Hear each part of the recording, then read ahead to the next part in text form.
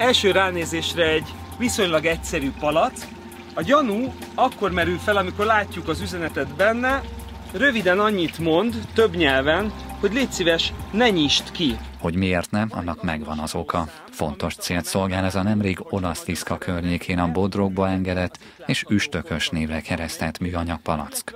Két másik szintén a folyóba dobott jeladóval együtt a Tiszai Petkupa kutatásfejlesztési programját szolgálják. Nem csak üzenet van ugyanakkor bennük. Oda bent található egy akkumulátor, egy GPS érzékelő, és egy természetesen egy rádiós jeladó, ami a GSM hálózaton keresztül továbbítja a palacnak a pozícióját. Mint ismert, a Tisza és mellék folyói tele vannak műanyag hulladékkal.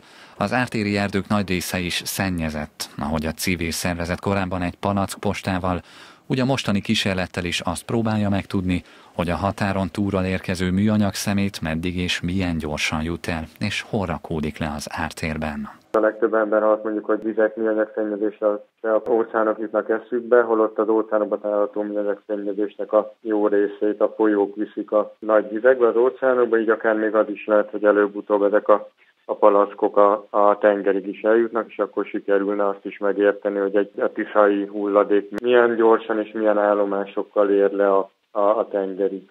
A mobil hálózaton keresztül küldött adatoknak köszönhetően a petkupa.hu-n bárki nyomon követheti, hol járnak épp a palackok.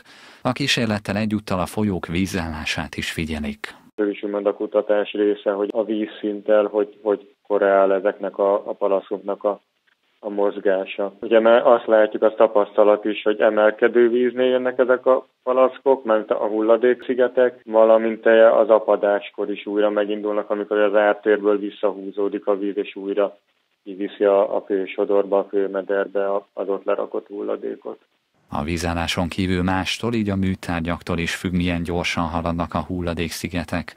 A folyók megtisztítását tűzték ki célul a 2013-ban elindított és évenként megrendezett PET kupa versenyek, amelyek újabb helyszíneinek meghatározásában is segítségül lehetnek a kísérlet során beazonosított hotspotok, vagyis azok a helyek, ahol megáll és felhalmozódik a szemét. Jó utat!